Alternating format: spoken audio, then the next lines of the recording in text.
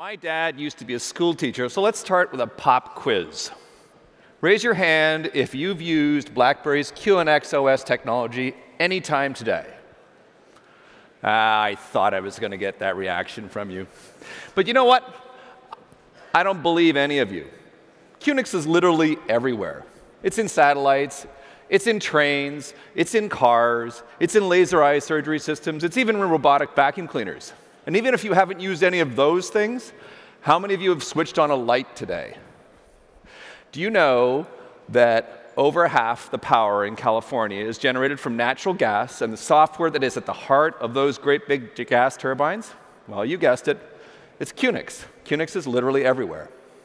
About 10 years ago, we saw our customers start to connect those systems back to IT systems in the corporation. What they were trying to do was achieve operational efficiencies. They were building systems like logistics and routing. And the cost of the sensors and the processors and the connectivity that made that possible, they continued to drop. Well, today they're still connecting those systems, but it's being driven by the marketing departments, it's being driven by the product departments, with the realization that data is at the heart of all the products that we build today. It's literally changing everything. Now, there are lots of hurdles still to be overcome. A modern car, for example, has hundreds of sensors in it. One of our OEMs told us that those cars can generate three gigabytes of data per month per car. Yeah, per month per car.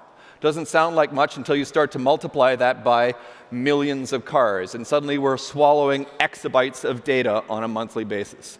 And if you believe all the predictions that there will be 50 billion devices connected to the Internet of Things by 2020, we could be talking about trillions of machine transactions and exabytes of data being created on a daily basis. Today's machine to machine solutions are simply not going to cut it.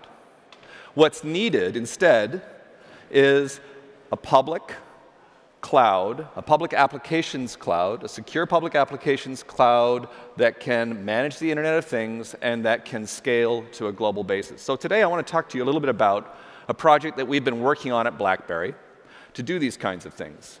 We haven't demonstrated it before, um, so this is uh, the first time anybody's seeing it. It's called Project Ion, and it's a series of initiatives that encompass partners, ecosystems, technology that are designed to help businesses securely and simply build their Internet of Things vision. So, I've got a little bit of technology that we've built. Uh, the group at QNX has built. Hmm, interesting. Um, and uh, what you're going to see is a system that we've built, a prototype system that allows you to connect up um, masses of devices to the cloud and in turn collect data from them and make sense out of it. So on the screen, we are looking at, uh, actually, I should set the scenario up for you first.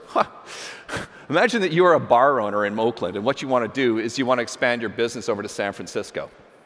And so you might be looking for a good venue to go do that with. You might have found a nice place down in the Haight um, looks like a good area, good incomes, lots of nice restaurants. The only piece of information that you don't know at this point in time is whether or not there are people who actually like jazz there. So on the screen, what you're looking at is a worldwide map. The system is bringing in um, uh, data from 10 million different devices across the world. These are all music playing devices, and it's showing information about those devices. And we're only interested really in the ones that are in the area that we're trying to reach. I'm sorry, I'm having trouble with the browser here. There we go. Um, so we're going to go and put in Haight Ashbury and jump to that area. Immediately we get a view of the map. Uh, we can see shortly all the devices that are generating music. Those are devices in home, they're devices uh, in your car, they're devices that might be on your mobile device. Um, and over here on the right, you can see that there are about 3,000 of them generating data. Different genres of music are present. Uh, you've got demographic information down here.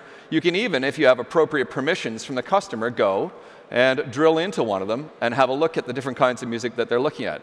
This particular person is not a jazz enthusiast, a real big rock and roll enthusiast.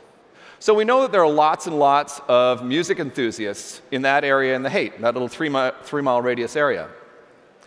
What we really want to know, though, is how many jazz enthusiasts there are. So we're going to go ahead and scrape that based on genre, and we can see that there are hundreds of them in there. So from a business perspective, what we've just done is you found your location, You found the demographics that you're interested in, and we have proof that the kinds of customers that you want are located there.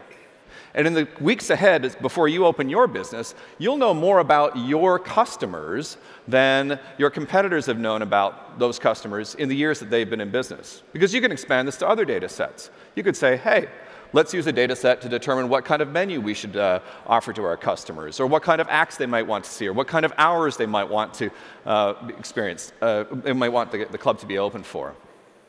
And that, I think, is the power, the vision that we have for the Internet of Things. It's about joining businesses and customers and objects and machines and connecting them together and being able to derive meaningful and valuable data that you can use in your business every day.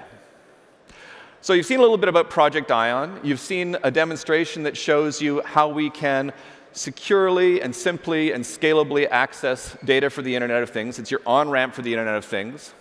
If you're interested in learning more about it, I'd invite you to come back to the exhibit that we have in the back of the hall. We'll be releasing this into a private preview very shortly. And if you're interested in participating in that, developers, partners, come and talk to us about it.